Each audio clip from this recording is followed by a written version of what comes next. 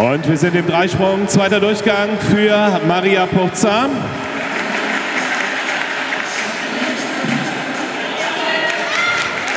Maria Purza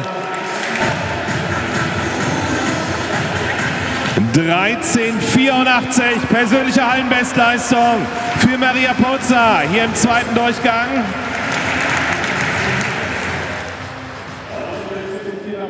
Gießen mit 15, 13, 56.